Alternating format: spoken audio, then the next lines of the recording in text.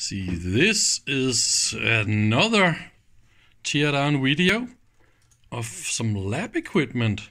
Maybe it's going to be a repair video, or maybe it's going to be a teardown, or a how this thing works. Let's find out.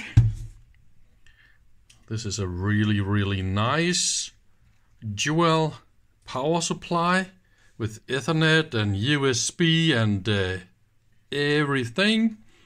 If you look at the picture here, let's, I don't know, yeah, here it is.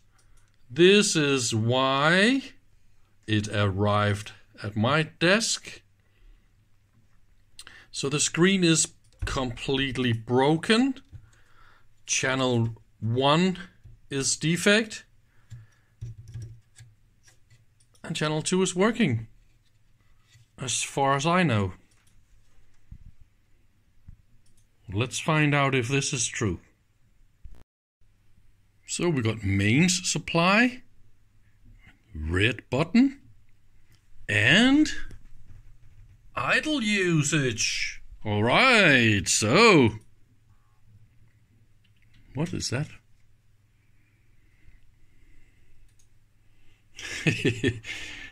That is one broken screen.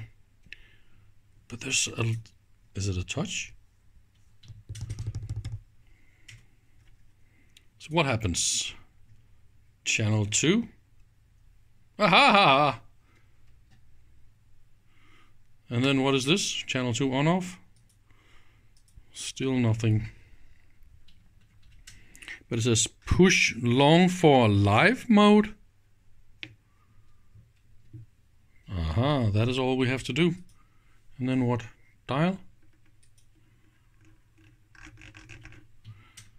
Ah, channel 2. Channel 2 is on off and then... So how the fuck do you... Ah, kom nu man. So this button. But I think I'm doing it right, yeah? Master on off. I'm an idiot. Of course, there's the master on off as well. Okay, and then a channel 2. Okay, so three buttons you need to fool around with to get output. Okay, now we got the dial. Ha ha! It is in one volt, so that is 27. See? Every little click is exactly. Wow, this is amazing. It is this accurate. Whoa! And then all the way down, zero, and the first click. So that means channel 2 is working. Channel 1. I would assume, let's see if this is right.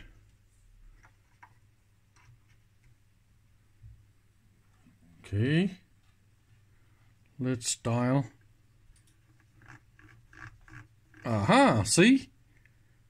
All the way down, minus 0 0.2, and then one click up, two, three, four, five, six, seven.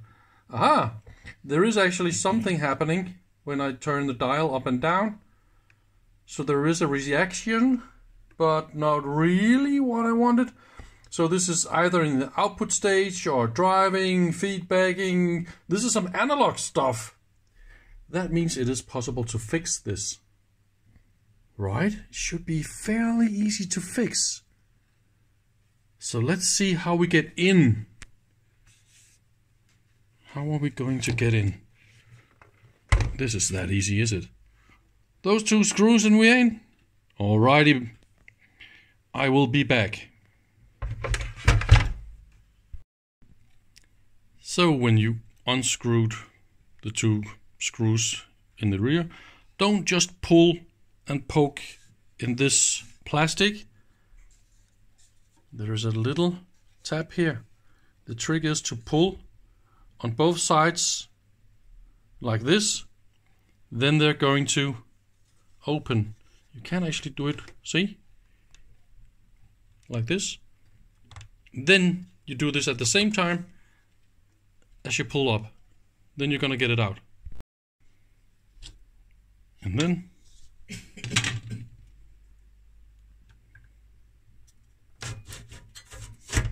and then we get in.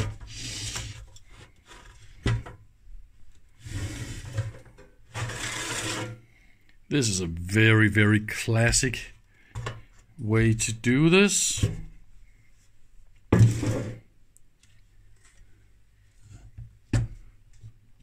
It's really, really beautiful. What is that? This is the first thing that I see. Something that is black on a fuse. That is never good. I need to measure this fuse. What else can we see? It's always interesting to do the first inspection. Where is it? So that's the two different CERN systems. Some maybe the output on off control. Ooh, somebody's been poking around in here. Soldering something. So maybe that is some capacitors in one of the channels. Oh, that is the channel that is not working. So they've been poking around in this one. Oh no. I was hoping that nobody was in here before me because then it would be easier to fix. It is really, really beautiful. Look at that. So the input, really, really thin wires. And then there's a switch mode power supply just for pre-regulation and something. And then what is in here? I think we need to go and have a look. Oh, there's also another transformator and all sorts of stuff down there. This is of course for the connectivity. Output terminals. Oh, you look at that baby. Oh, this is big. So this is where all the control is. Of course, really, really close to the displays and buttons and everything. So this is actually how most of the newer computer controlled power supplies they are done. So you will have the CPU and the software and everything as close to the display as possible. Really, really normal. So I need just to get the display out anyway because it's broken. But I also need to find out if I can fix this broken channel. There was nothing. So I need to go and get a screwdriver and open this. Let's have a look.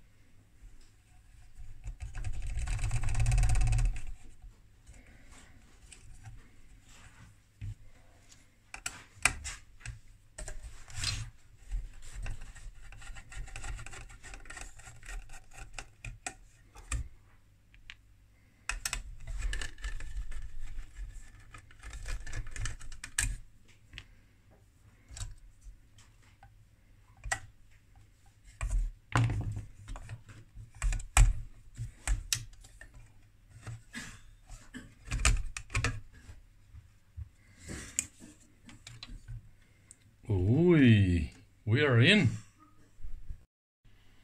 Oh, holy crap canoe. Look at that. Some leftovers from a broken capacitor.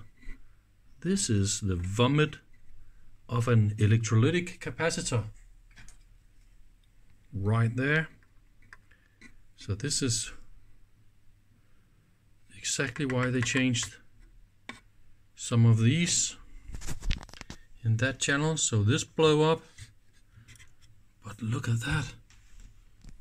It is really really fantastic. There is some reaction but not enough.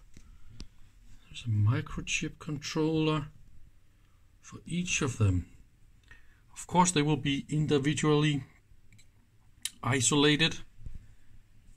And this is why you have a transformator here and here and all these components and then of course the fan directly on top of it. So this is how it is cooled by directly blowing down directly on top of everything. But you gotta see this. I just saw this on top of the fan. Ooh they didn't clean up all the puke so it's all full here. Yummy. There was a big kaboom. An earth-shattering kaboom. So this will be isolated communication. Wow, fantastic.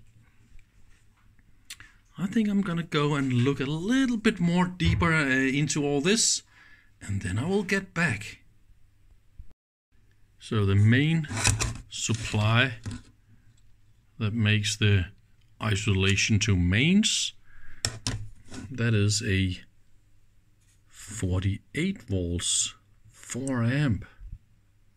Wow, so this is our main input on the motherboard down here and then it goes all the way here so this PCB can actually support three outputs. You can also see it here, the outputs. So you can have one, two, and three, but only two of them are fitted. This channel here is not working. I already found the fault. This is the primary FET, and this is a diode. So this is just an isolated buck.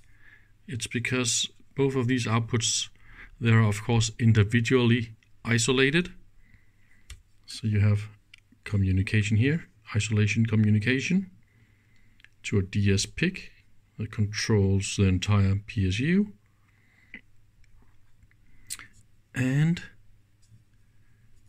this is a decoupling capacitor of the 48 volts that's going down to all three supplies.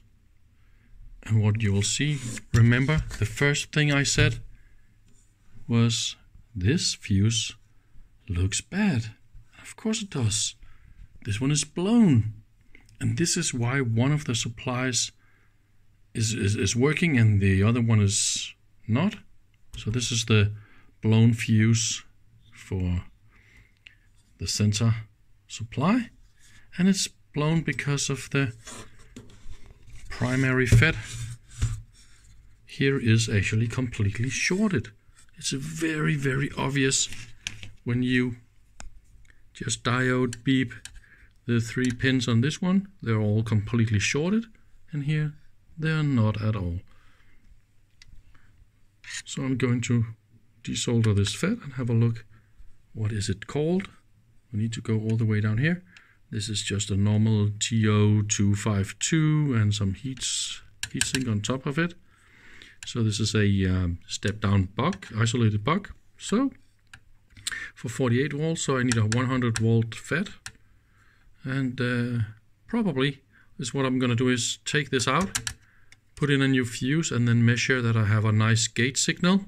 If I got a really nice gate signal, then I'm also going to check the diode. And they only changed one of the capacitors, not both of them. One capacitor blew up and puked all over the place. So what I'm going to do is change both of the capacitors. That will be the original capacitors for the other channel. So it's most likely something wrong here, but I did check out that the the diode and the resistance measurements on the two sides is identical. And I also checked a few of the output FETs uh, to the output. Seems identical, so we could be lucky. It's only that one. But so far, so good. I'm telling you, desoldering this with hot air was a nightmare. They really did all they could to cool this down as good and effective as possible. There's a super short distance down to the inner layers, and this makes this really, really good thermally conductive. So that means it's just a pain. Anyway, it is out, and of course the FET is completely shorted. The broken fuse is out. This one was from the back. The diode is good. So the output from the transformer goes through the diode, through a common mode choke and out, and all this beeps out to be absolutely alright, and then identical to the other channel that is working. So that means I go for it. I just leave this FET open, put in a, uh, a new fuse, and then I'm going to measure if there's a gate signal. All right. The broken FET is called 320N20N. So now I know a lot more and I will be able to give a little bit deeper explain about how all this works in here. Let's rotate a little bit and look in the back left corner here. What you see here is another little switch mode. So this is the IC and a FET. So this is the primary part of the oscillator. This is actually three isolated plus minus outputs. Look how nicely they are balanced with all the filters. Since this supply is populated with only two outputs, you can make a three output power supply with the same motherboard. And this is also why the third auxiliary supply is not populated. Let's look a little bit more at the auxiliary supply. So this is the oscillator and the power drive. So this is driving all the three outputs. The third is not populated.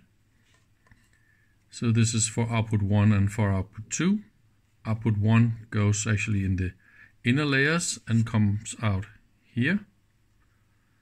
So you see it's positive and negative, each one of them, with the two diodes here, the positive and the negative diodes, filters and a ferrite on the ground, of course, and then we got the coils on the other side and capacitors again, and again capacitors on this single point. and this is exactly how you do a good switch mode design. Oh, I could cry. I've been talking about this for years, how to do good switch mode uh, filtering with a, a single super point like this, and then you take out a completely dead signal in, a, in, in this nicely balanced way with the ground in the middle and the positive and negative right? Like this. See the output supply for for the for the first one goes here. So what we have here on the other side is actually a little bit interesting look at that the classic 431 and an optocoupler so of course it's regulated what it does is it regulates one of them for plus minus, uh, 10 volts. and this is what drives all the different auxiliary uh, systems on each of the power supplies. This one is the 3.3 volt supply for all the digital uh, circuits and analog circuits. Those are the, the classic digital isolators. This one is the one driving the primary side. Of course, the, this is an isolated side of the switch mode converter. So that was the FET that was uh, shorted. I just put in a random FET, well, not completely random, also a 200 volts uh, FET, so uh, that I could get this up and running. And the FET drive system is really, really funny made. Everything here, all those components, this is the FET drive done with discrete components. So all these tiny little three pins is actually NPN transistors. And we got some diodes and capacitors and resistors. Look at all this. This one is a NPN PNP 2 in 1. So this is the output push pull for the gate. The series resistor for the gate and a pull down resistor when this is not enabled. When you disable the output, everything goes to off. And so the pull down resistor just keeps the gate low. Those are the gate sense resistors for the current sense. NTC sensor. This is directly under the power FET, so it's measuring, uh, the CPU is measuring the temperature of the primary side FET. I, I marked uh, a few other places where we have NTC resistors. So there's an NTC directly under the rectifier diode, because this one is also hot. There's one more I'm going to talk about in a few minutes. So the problem with the with this supply was I found uh, a blown up capacitor. Somebody else tried to change it. it looks like really really badly soldered job and they didn't clean up anything. I also saw a diode missing. So this is the reverse voltage protection diode of the input this one is removed. So, what they did to blow this up is they reversed the input. This way they shorted this one. And what else did they do? They blew up the voltage sense system so that the, the CPU is not measuring the output voltage at all. And this way it's giving full PWM. And this is why this one keeps blowing up. I repaired the entire gate driver was completely blown up, which was a really, really annoying thing to figure out. So I've been down here measuring around here and changing components here. I even changed this, the push-pull, the dual NPN PNP. And uh, so now I got nicely, a nice, nice uh, gate driver signal. And I didn't have the 0.1 ohm resistor in a, a, high current package. So I just went for 1 ohm resistors and just 20 of them. So I got the same current capabilities and the same resistance and everything. So I'm actually uh, quite alright with this. It doesn't, doesn't really look good, but it was good enough to boot this thing up. So because of uh, the lack of uh, voltage sense, this one actually generates 75 volts and this is of course why it keeps blowing up the capacitors. Nothing here is rated uh, 75 volts. So, and I cannot figure out where the heck the voltage sense is and uh, why this is not giving the right signal back to the CPU and then the CPU is not turning down the PWM. So PWM is maximum. At the very first go that I enable this output, I just get full PWM. So it just keeps blowing up capacitors. I, I just uh, removed the other one. But this one is getting really, really hot really, really fast because it's only a 50 volts capacitor. So yeah, also you see another NTC here. So this NTC, this is actually a little bit funny to see uh, to see this made like this. Look at those load resistors and transistors that can turn on and off uh, some load on the output before the on off switch to the output. And this is, of course, to give a minimum load because this is a switch mode converter and you don't want it to run without a load. But when you do load the output, of course, you want to turn this off again so you minimize heat loss. So it's, it's that, that is actually quite clever uh, done. Those are the output current sense resistors and uh, on the other side you have the current uh, sense amplifier. Also the, um, the signal path of the of the whole uh, powertrain here. That is uh, of course the primary FET, the transformator and the diode, rectifier diode, the rectifier capacitors. Um, this is the first um, the common mode choke. And then there's another filter here made with the uh, first capacitor and uh, an inductor. And then I don't know if I can get some light in here to show show you guys this. Oh come on man. Why is it this difficult? See more ferrite? And then another capacitor?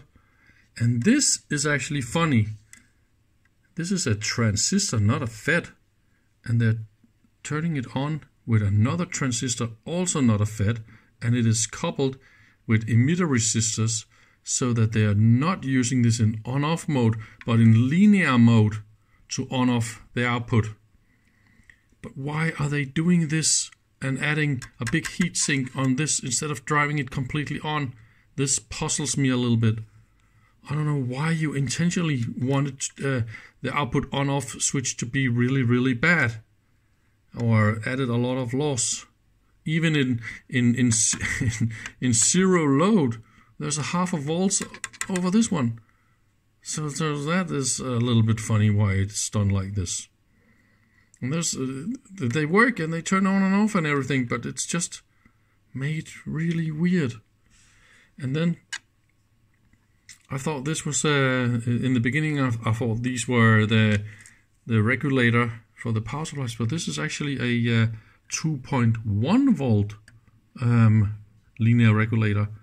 So from the 10 volts, you have these two resistors in series before the voltage goes to the 2.1 volt, and this is of course a voltage used for the analog systems. So and then you yeah of course you have your another DS-PIC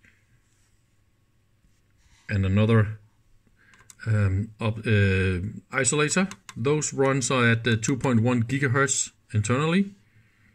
You have the decoupling capacitor that was oh so important if you look at the data sheet and it is actually on the other side and far away with long thin tracks. Hmm. And all those uh, data signals to the two uh, microcontrollers, it goes up to the main display board. This is really nicely made. So there's a backup for something that needs to be backed up. Maybe a clock of some something. I guess these will be I.O. expansion, driving LEDs or driving all the buttons. We got some RAM and some flash for the program. And this will be a Linux CPU, I guess.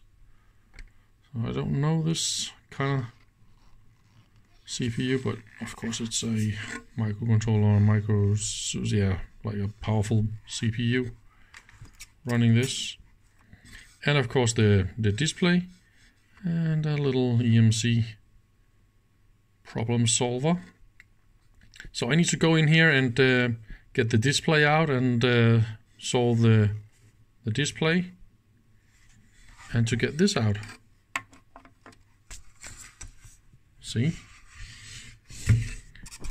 Need to take out the two screws on the sides and then we can slide out the display, the, the whole front, and then get access to those screws. They're very difficult to see here, but of course this is how you disassemble the entire front.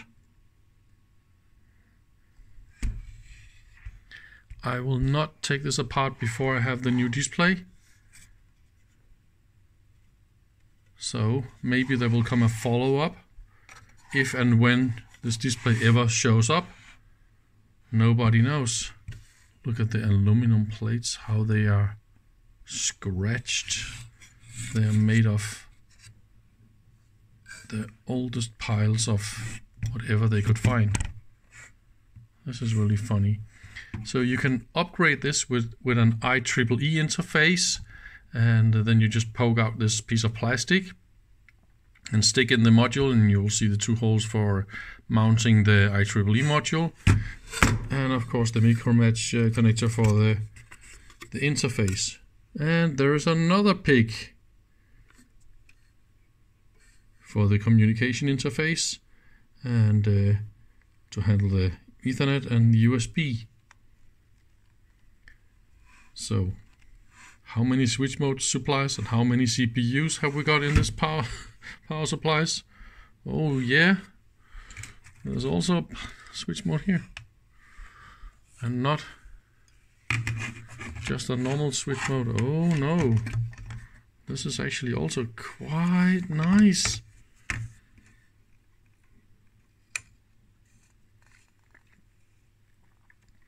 As far as I can see, this one is also with power factor and everything. Extra filtered. Really, really a nice power supply.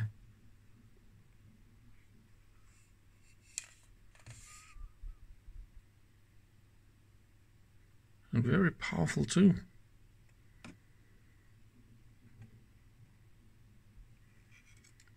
Yeah, no problems here. This one is not going to blow up by the 2 times 50 watts of output here.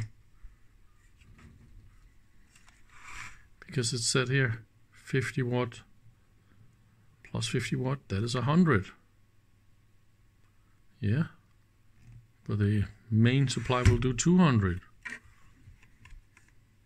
Well, if it is air cooled, and what I see here is one really nice fan. And they also put this fan in rubber. Or, yeah, now you can see it for vibrations. So this is good too. Yeah, I think I will uh, release this video now and then maybe when the displays show up we can have a follow-up. This is all the power supplies for the display part and whatnot. And we got nice LEDs at every supply that lights up to show that it's running. So that is really nice.